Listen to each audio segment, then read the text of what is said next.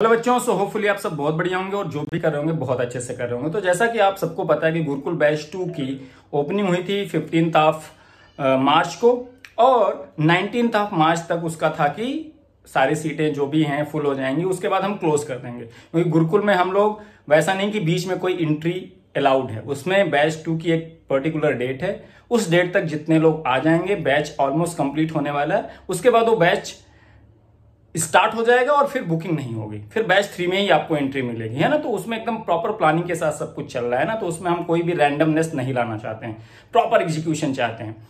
लेकिन अभी चूँकि होली था, उस चक्करों में बहुत सारे बच्चे मिस कर दिए थे तो उन्होंने रिक्वेस्ट की थी मैसेज किया था।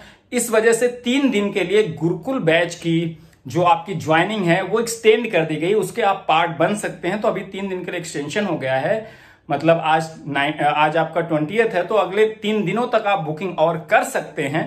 तो बिल्कुल भी वेट मत करिए। आपको गुरुकुल बैच का अगर पार्ट बनना है, एक सिस्टमेटिक वे में गाइडेंस चाहिए, एक सिस्टमेटिक वे में डिसिप्लिन वे में आपको तैयारी करना है प्रॉपर रिवीजन करना है पीरियोडिक रिवीजन करना है असेसमेंट करना है regular doubt solving through teachers के साथ इन्वॉल्व होना है तो आप गुरुकुल बैच का ज़रूर पार्ट बनिए और अभी आपके पास तीन दिन का और मौका है तो जल्द से जल्द अपनी सीट इनरोल करिए। Thank you so much